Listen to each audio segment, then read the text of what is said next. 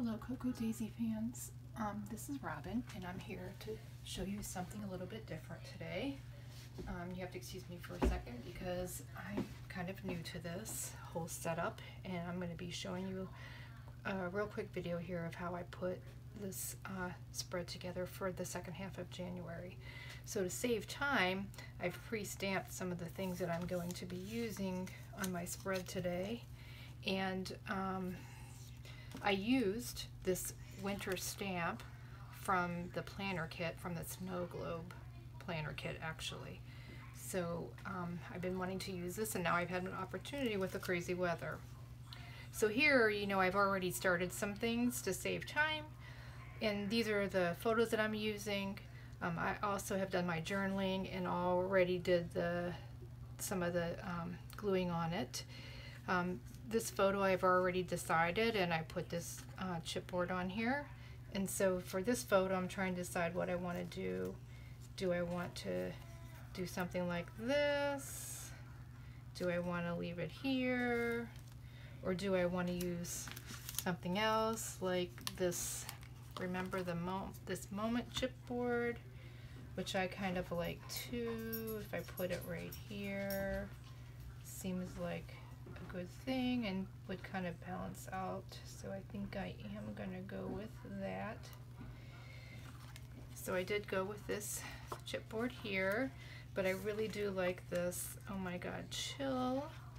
Um, so I might be actually gluing this to the photo here. We'll see. Next, I wanted to do this uh, journaling here. So I've kind of thought about where I want to put my journaling on this card. And by the way, this is a 4x6 card from the paper and ink kits that I've already attached my photo to.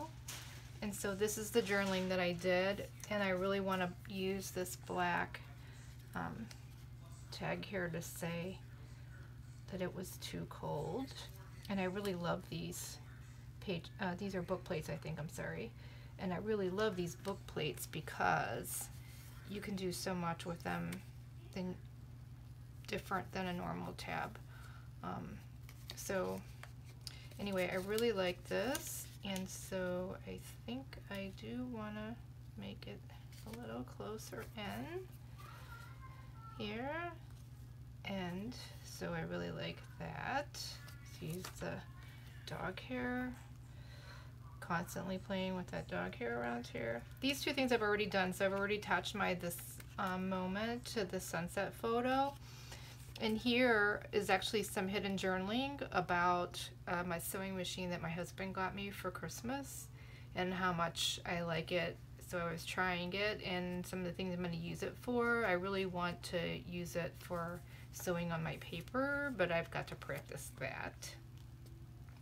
And then over here, you know, I kind of like this to highlight the word, this frame to highlight the word stories. So I'm thinking about that um, too to kind of balance the, the dark, but I'm definitely going to be using this. I, again, pre-stamped in white ink for my journaling. And I love this card, and so I hate to cover it up, but at the same time, it's so perfect for my journaling and, and all the little pieces that I love from the kit sort of stick out anyway around the edges, which I really like.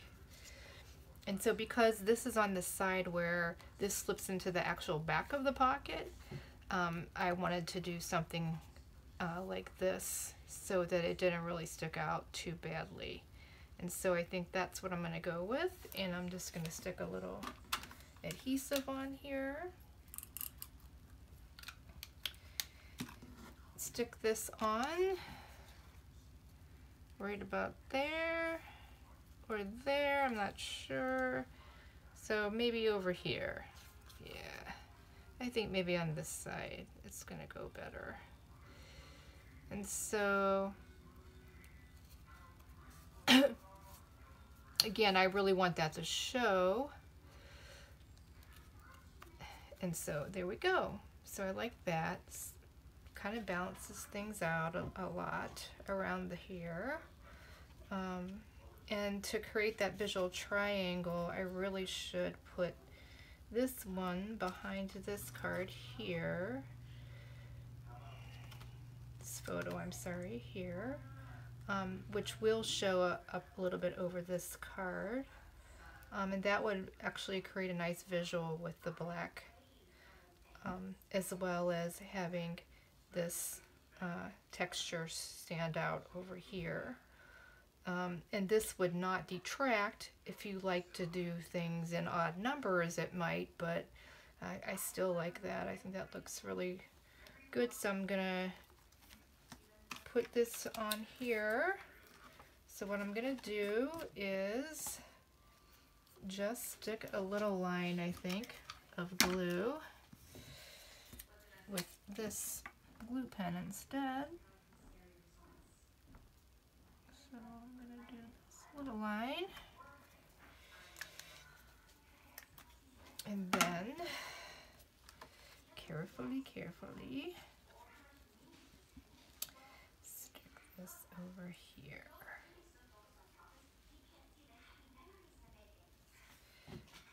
So, now that glue dries clear, so it's going to look pretty good uh, when I'm done as long as it's straight. That's the most important thing, keeping it straight. Oop. No worries. The thing I like about this glue is I can get out my uh, Un-du and fix that very simply. So I'm not too afraid of glue anymore. I used to be, but not any longer again, I think that that's going to look really good. I like it.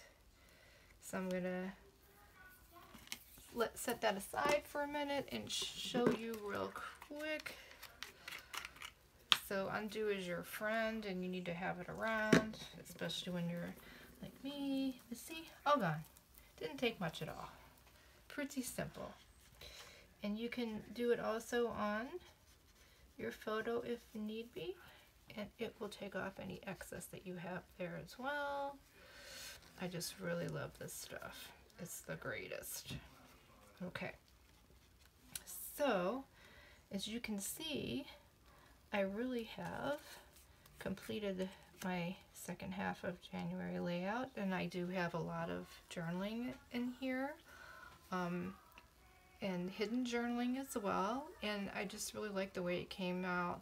The 6 by 12 really works for me and only doing uh, two layouts a month also really works for me.